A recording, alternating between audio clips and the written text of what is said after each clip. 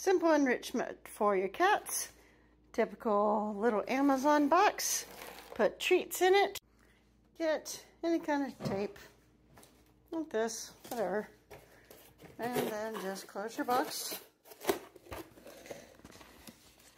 And tape your box. This is the fun part. You can stab your box with a knife. Twist the knife. So the holes are big enough for the treats to come through.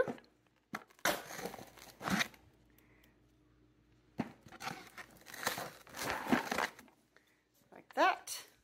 Continue it around the box. This is the fun part. You give it to your cat. What do you think, Q-Tip?